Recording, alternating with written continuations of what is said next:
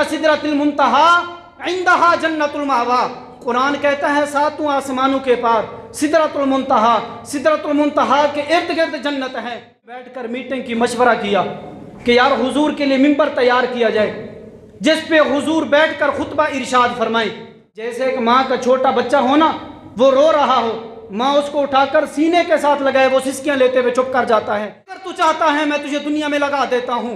ताकि आमद लोग तेरा फल खाते रहें, तेरा फल कभी खत्म ना हो। हुजूर ने फरमाया, आए मेरे फिराक और मेरी जुदई में रोने वाले।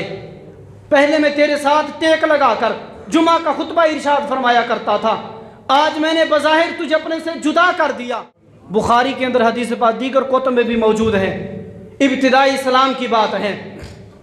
मेरे आका करीम लजपाल नबी अकरम सल्लल्लाहु अलैहि वसल्लम जुमा का खुतबा इरशाद फरमाया करते थे, एक खजूर के खुश्क तने के साथ टेक लगाकर बाज दफ़ा ऐसा होता कि खुतबा लंबा हो जाता, हुजूर खड़े खड़े थक जाते थे।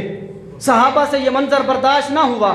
सहाबा ने आपस में बैठकर मीटिंग की मशवरा किया कि यार हुजूर के लिए मिंबर तैयार किया जाए, जिस पे हुजूर बैठकर खुतबा इरशाद फरमाए। ऐसा ही हुआ, मिंबर तैयार हो गया। फलम्मा सुनिया लाहुल मिंबर, जब मिंबर बन गया फस्तवा अलैहि। हुजूर अकरम सल्लल्लाहु अलैहि वसल्लम जुमा का खुतबा इरशाद फरमाने के लिए मिंबर पे जलवागर हुए। जब हुजूर मिंबर पे बैठे, सहाबा को हुक्म दिया, ऐ सहाबा, ये जो खजूर का खुश्क तना है, जिसके साथ पहले मैं टेक लगा कर जुमा का खुतबा देता था, इसको यहाँ से उठाओ, मस्जिद नबी के कोने में खड़ा कर दो। सहाबा ने ऐसा ही किया, तने को उठाया, मस्जिद नबी के कोने में जाकर खड़ा कर दिया। इधर हुजूर ने खुतबा शुरू किया था। साहबा कहते, इधर से हुजूर ने भी खुतबा शुरू ही किया था। उधर से क्या हुआ? हत्ता साहती नकलतुल्लती कान यख्तुब जो ही हुजूर ने खुतबा शुरू किया, उधर से खजूर के खुश्क तन्ने से रोने की आवाज़ें आना शुरू हो गई। साहबा कहते हैं, उसका रोना और बढ़ता गया। साहबा कहते हैं, हत्ता का दत्तन शक्कू। इतना ज़ोर ज़ोर से रो रहा था। हमने ये गुमान किया, कहीं ये खजूर का तना खुश्क फट ही ना जाए। जब इतना ज़ोर ज़ोर से रोया, साहबा कहते हैं, फनाजल नबीजू सल्लल्लाहु अलैहि वसल्लम। हुजूर मिंबर से नीचे उतरे।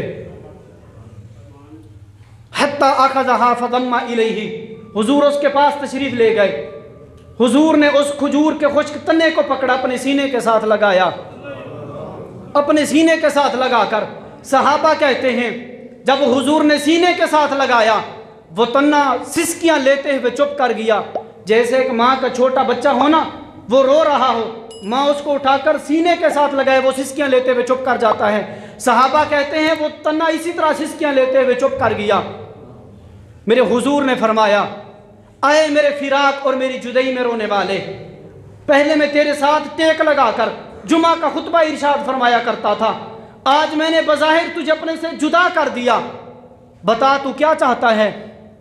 अगर तू चाहता है, मैं तुझे दुनिया में लगा देता हूँ, ताकि आमद लोग तेरा फल खाते रहें, तेरा फल कभी खत्म ना हो। अगर तू चाहता है तो मैं तुझे जन्नत में लगा देता हूँ। हुजूर ने फरमाया अय मेरी फिराक, मेरी जुदाई में रहने वाले, मैंने बज़ाहिर तुझे आज अपने से जुदा कर दिया। बता तू क्या चाहता है? अगर तू चाहता है, मैं तुझे दुनिया में लगा देता हूँ। ताकि आमद लोग तेरा फल खाते रहें, तेरा फल कभी खत्म ना हो। अगर तू चाहता है, मैं तुझे जन्नत में लगा देता हूँ। तने ने अर्ज़ की, हुजूर, मैं जन्नत में जाना चाहता हूँ। मेरे हुजूर जहाँ खड़े हुए थे, वहाँ से पीछे हटे साहबा को हुक्म दिया जहाँ पे गड़ा खोदो। एक रिवायत। दूसरी ये है हुजूर जहाँ मिंबर पे बैठते थे, जहाँ हुजूर के कदमैन शरीफैन आते थे, सहाबा को कहा कि, एक जगह गड़ा खोदो। बिल आकर गड़ा खोद गया। हुजूर ने खुश्क तने को उठाया। उस गड्ढे के अंदर रख दिया। साहबा ने मट्टी डाल दी।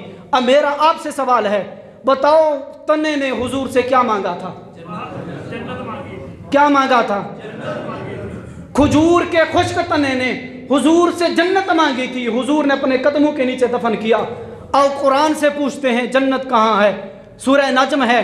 कुरान कहता है, इंदा सिदरतिल मुंतहा इंदहा जन्नतुल मावा। कुरान कहता है, सातों आसमानों के पार, सिदरतुल मुंतहा सिदरतुल मुंतहा के इर्द गिर्द जन्नत है। जन्नत आसमानों के पार, सिदरतुल मुंतहा के पास है। हुजूर ने खुश्क तने को अपने कदमों के नीचे दफन किया। अपने कदमों के नीचे दफन करके हुजूर ने दुनिया को ये पैगाम दे दिया, लोगों याद रखना।